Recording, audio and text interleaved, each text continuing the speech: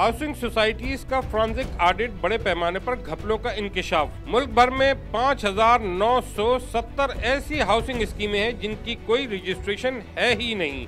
FIA ने मुल्क भर के हाउसिंग सोसाइटीज का फ्रांसिक ऑडिट मुकम्मल कर लिया है। रिपोर्ट के मुताबिक हाउसिंग सोसाइटीज में बड़े पैमानों पर घपलों का इंकशाफ हुआ है। 631 कोऑपरेटिव हाउसिंग सोसाइटीज में से चार सौ बावन का फ्रांसिक ऑडिट कर लिया गया है जिससे पता चला कि सिर्फ़ इक्यावन सोसाइटीज कानून के मुताबिक बनाई गई हैं।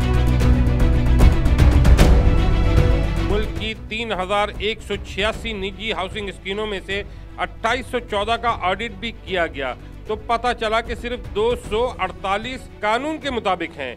रिपोर्ट के मुताबिक मुल्क भर में 5,970 ऐसी हाउसिंग स्कीमें भी हैं जिनकी कोई रजिस्ट्रेशन ही नहीं है। कोऑपरेटिव हाउसिंग सोसाइटीज के लिए मुतनाज़ा अराजी को खरीदा गया जबकि हाउसिंग सोसाइटीज के लिए टुकड़ों में मुंतशर ज़मीन खरीदी गई। निजी हाउसिंग में आम लोगों के साथ फ्रॉड हुआ और दरखास्त गुजारों को पैसे लेकर प्लाट न मिले।